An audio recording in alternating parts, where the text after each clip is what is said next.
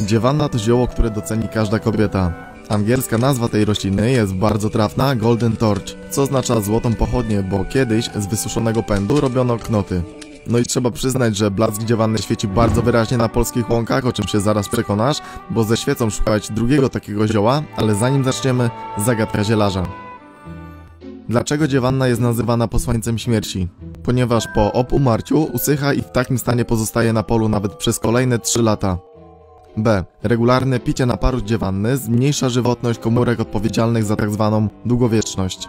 Czy C? Według wierzeń ludowych, gdy na grobie wyrośnie dziewanna, oznacza, że zmarły jest w czyśćcu. Oczywiście odpowiedź na to pytanie poznasz na koniec tego odcinka, a jeśli stwierdzisz, że to wideo może się przydać Twoim znajomym, to udostępnij je. W tym wideo dowiesz się, jakie właściwości lecznicze posiada dziewanna, jak ją stosować, a na koniec poznasz jeszcze parę ciekawostek.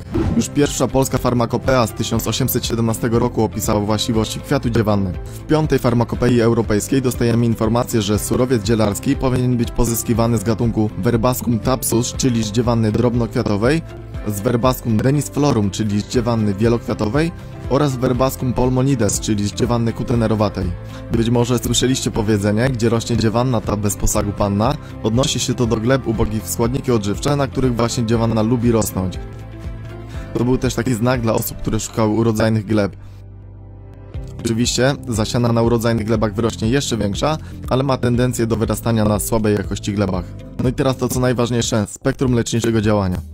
Dziewanna działa przeciwbakteryjnie, przeciwwirusowo, jej śluzy działają osłaniająco, nawilżająco i łagodzą podrażnienia. Natomiast olejek z dziewanny działa rozgrzewająco, wykrztuśnie, antyseptycznie, odkażająco. Można go też wykorzystać do wcierania w skórę, wtedy pobudzi jej ukrwienie i skórną przemianę materii. Dziewannę najczęściej wykorzystuje się z uwagi na jej właściwości prokosmetyczne.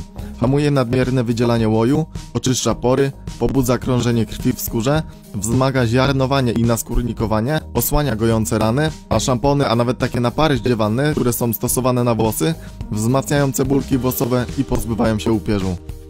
Zgodzisz się ze mną, że sporo jest tych właściwości, ale dziewanna w swoim wnętrzu produkuje bardzo silne substancje, do których należą saponiny trójterpenowe, takie jak na przykład verbasco saponiny. Cała grupa tych saponin działa korzystnie właśnie w stosunku do naszych płuc, kiedy mamy choroby układu oddechowego, no i układu pokarmowego. Do tego dochodzą sterole, takie jak stigmasterol czy beta-stigmasterol, glikozydy irydoidowe oraz glikozydy fenyloetanoidowe, flawonoidy oraz kwasy fenolowe. Nie będę teraz tych substancji omawiał, znajdziecie je w mojej książce w rozdziale ABC zielarza, a połączenie tych i wielu innych substancji sprawia, że przetwory zdziewanne, które też sobie zaraz omówimy, działają korzystnie na cały układ oddechowy. Pomaga na przeziębienie, grypy, anginę, kiedy ktoś ma chrypkę okołochorobową, a szczególnie z dziewanny skorzystają nauczyciele oraz osoby pracujące głosem. Jeśli znacie takie osoby, które właśnie pracują głosem i często mają z nim problem, mają jakieś takie chrypki, to możecie podesłać im to wideo, bo będzie też przepis. Do przygotowania nalewki będziesz potrzebować 100 g surowca i 300 ml alkoholu 30%. Może być też białe wytrawne wino. Do przygotowania naparu będziesz potrzebować szklankę gorącej wody, ale nie wrzątku, którą zalej surowiec i odstaw pod przykryciem na pół godziny. Taki napar z kwiatów dziewannej jest bezpieczny nawet dla dzieci. Można go podawać z miodem i sokiem owocowym. Jeśli ktoś kojarzy mieszankę ziół szwajcarskich na kaszel, to właśnie znajdziecie tam też dziewanne. Dla osób, które mają jakieś problemy z wypryskami na twarzy, polecam połączyć świeże kwiaty dziewanne z olejem lnianym i tranem. Takie smarowidło można wykorzystać też na siniaki i stłuczenia. Kąpiele na bazie wody z dziewanny są świetnym rozwiązaniem na relaks i odprężenie oraz na bóle reumatyczne.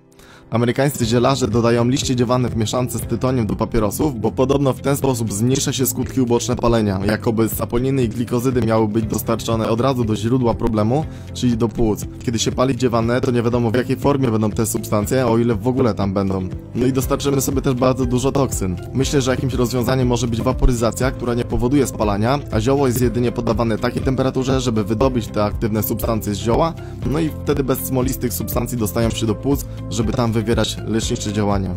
Nie wiem czy wiecie, ale dawniej tych liści używano jako wkładki do butów, bo dobrze trzymały ciepło. Taką ciekawostką jest też to, że w starożytności e, dziewanne postrzegano jako magiczne zioło. Podobno w antycznej Grecji Hermes podarował Odyseuszowi dziewannę, a ona uratowała go przed magią czarodziejki Kirkę, która zamieniła wcześniej jego towarzyszy w trzodę chlewną. Kolejną ciekawostką jest to, że amerykańscy survivalowcy nazywają dziewannę cowboy toilet paper, czyli papier toaletowy kowbojów. Jak się patrzy na taką kolbę, to można się najpierw wystraszyć, ale jak się spojrzy na liść, a później się go dotknie, to faktycznie mogą to być niezapomniane doznania. Prawidłowa odpowiedź zagadki zielarza to C. Według wierzeń ludowych, gdy na grobie wyrośnie dziewanna, oznacza, że zmarły jest w czyśćcu, a wyciągnąć go z niego może tylko pielgrzymka do znanej lokalizacji. Dziewanna jest rośliną dwuletnią, co oznacza, że w pierwszym roku rośnie w liście, a dopiero w drugim roku rośnie w kwiaty. Jeśli spotkacie w kwiatach albo pęczkach takie czarne plamki, to nie jest żadna choroba, tylko żywica, która w dużych ilościach działa narkotycznie, a w terapeutycznych ilościach działa przeciwzapalnie i leczniczo. Jeśli chcesz skorzystać z leczniczych właściwości dziewanny, to wypatruj na polu złotej pochodni.